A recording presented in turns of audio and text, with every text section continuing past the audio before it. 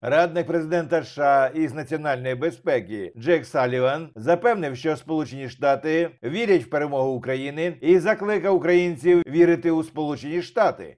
Всім це хорошо известно. На тлі зусиль ухвалення критично важливого пакету допомоги для України. Ми віримо, що ви вийдете з війни переможцями. Ви побудуєте сильну демократію, стійку та безпечну країну, яка зможе відбивати будь-яку агресію. І ми будемо вашими партнерами на кожному етапі цього шляху, наголосив Саліван. В Білому домі переконані, що їм вдасться отримати додаткове фінансування для України від американського конгресу. Впевненість у цьому висловив радник США з нацбезпеки Джейк Саліван, який сьогодні приїхав із неоголошеним візитом до Києва. Протягом спілкування із журналістами він заявив, адміністрація щодня працює із законодавцями над ухваленням необхідної допомоги. Ми будемо вашим партнером на кожному кроці. Я також хочу сказати, що ви маєте вірити у Сполучені Штати. Ми були на вашому боці з початку цієї війни. Ми надали величезну підтримку і продовжуватимемо робити це щодня, усіма способами, які ми знаємо. Тут є запитання через затримку у нашому конгресі законопроекту щодо додаткового фінансування, на отримання якого ви по праву заслуговуєте, і за який президент Байден бореться щодня. Це 60 мільярдів доларів, за які Сенат проголосував на двопартійній основі. Зараз ми працюємо з палатою представників, щоб прийняти цей законопроект. Ми впевнені, що у нас це вдасться. У нас вийде отримати цю допомогу для України.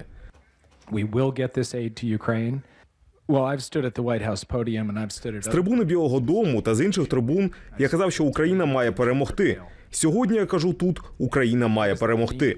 Що це означає? Це означає, що Україна після цієї війни буде суверенною, незалежною та вільною, здатною стримувати майбутню агресію, з сильною живою демократією, з глибокими демократичними інститутами, з економікою, яка розвивається.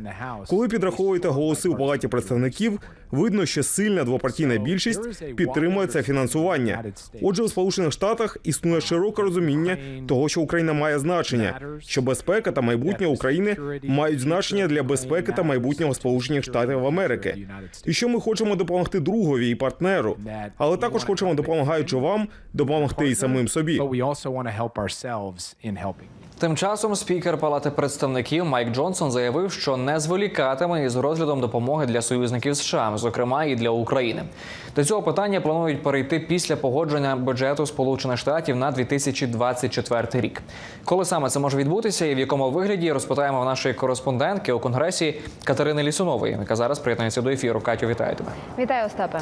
Катю, сьогодні ти була на прес-конференції Майка Джонсона. Він в тому числі детальніше пояснив про плани щодо фінансування для України, Ізраїлю, також інших партнерів США. Останнім часом було багато розмов щодо формату цієї допомоги, чи надавати в борг, чи давати безоплатно. Що про це сьогодні сказав спікер Катю, і коли це питання нарешті можуть поставити на розгляд? Сьогодні ми почули, мабуть, найчіткішу заяву спікера щодо допомоги Україні за останні місяці. Зокрема, він окреслив як терміни, так і можливі формати винесення на голосування цього пакету. Щодо термінів, то спікер заявив, що до допомоги Україні та партнерам перейдуть одразу після того, як погодять е, бюджет уряду Сполучених Штатів Америки. А це станеться вже цього тижня. Е, Відтак означає, що до допомоги Україні перейдуть вже після 8 квітня, тому що після того як погодять бюджет уряду під кінець цього тижня, конгрес уходить на двотижневу перерву. Відтак до допомоги Україні партнерам мають повернутись вже через два тижні після 8 квітня. Але вже тоді законодавці не зволікатимуть із цим питанням. Принаймні так заявив спікер Майк Джонсон. Пропоную послухати. Ми були дуже послідовні, дуже непохитні у тому, аби профінансувати наш уряд. Це були дуже жорсткі переговори. Але тепер, коли цей процес закінчився, як я і казав раніше, наша увага переключиться на питання додаткового фінансування.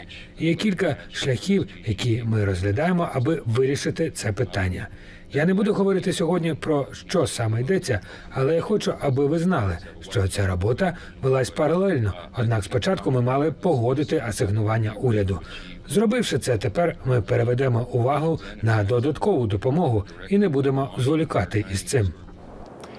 Щодо формату, у якому можуть цю допомогу Україні винести на голосування, то спікер Майк Джонсон окреслив кілька варіантів. Це, зокрема, імовірне розділення гуманітарної та летальної оборонної допомоги, також надання допомоги Україні у кредит, у борг, а також використання так званого законопроекту Ріпо Ект, який дозволяє конфісковані російські активи передати на допомогу Києву. Водночас спікер не назвав одним із таких варіантів законопроект, який вже погодили у Сенаті. Пропоную послухати.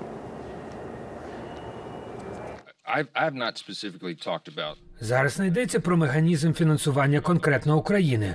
Ми говоримо про весь пакет додаткового фінансування партнерам. Незалежно від того, чи будуть вони йти окремо чи разом, усі ці речі нами обговорюються. Я думаю, що у свідомості багатьох людей є велика різниця між летальною допомогою для України та гуманітарною складовою. Також зараз багато обговорюють Ріпо Ект – законопроект, який дозволить використовувати конфісковані активи російських олігархів і таким чином частково оплачувати допомогу Україні. Також обговорюється концепція надання допомоги в кредит. Отже, між законодавцями зараз ведеться багато вдумливої цілеспрямованої роботи та обговорення цього питання. Ми розуміємо роль, яку відіграє Америка у світі. Ми розуміємо важливість надіслати світовий потужний сигнал про те, що ми підтримуємо наших союзників і не можемо дозволити терористам і тиранам марширувати по світу.